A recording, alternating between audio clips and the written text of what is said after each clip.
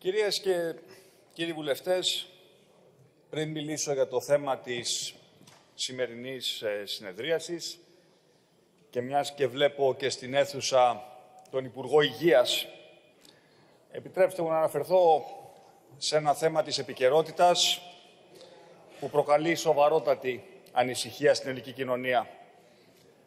40 συμπολίτες μας έχουν χάσει τη ζωή τους, εκατοντάδες νοσηλεύονται, πολλοί στην εντατική, πολλοί περισσότεροι νοσούν από τον ιό της γρήπης. Λυπάμαι, κύριε Υπουργέ, αλλά αυτό είναι γεγονός απαράδεκτο στον 21ο αιώνα. Και αποδεικνύει...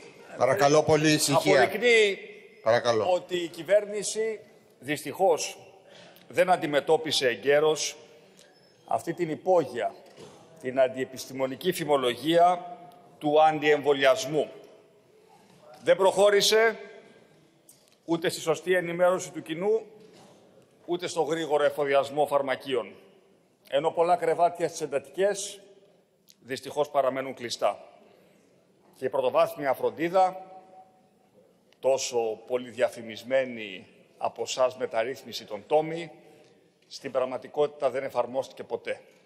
Όλοι ξέρουμε ότι είναι ένα σύστημα το οποίο καταραίει.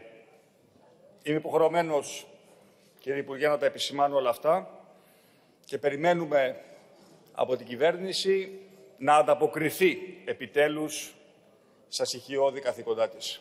Και έστω και σήμερα να πάρει όλα τα απαραίτητα μέτρα πριν θρυνήσουμε και άλλα θύματα.